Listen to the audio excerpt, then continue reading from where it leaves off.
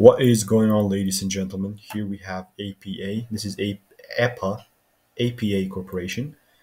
We're going to be starting from a three-month chart. I'm going to be giving you my own opinion, my own opinions, and all the good stuff. Overall, my own technical analysis. Obviously, this isn't not any type of financial advice. All my perspective, my opinion, and this is all uh, demo. So let's get straight into it with the not with the disclaimers. Let's get straight into it. Coming into the three-month chart, we do see a lot of bearish moves there.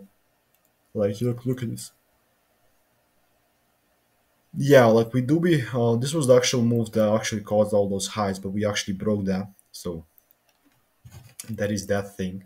Even this low was broken, and now we broke the low. Thing is actually bearish. Uh, although we had this beautiful move to upside from four dollars to like what thirty two.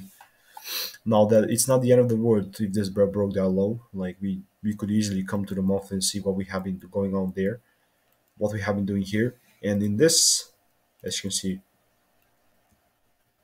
one month chart, we do see that this thing actually broke bullish. So I'm pretty happy about that coming from these lows, and I'm definitely still expecting those bullish moves to continue. So that's my own opinion, not financial advice. Goodbye.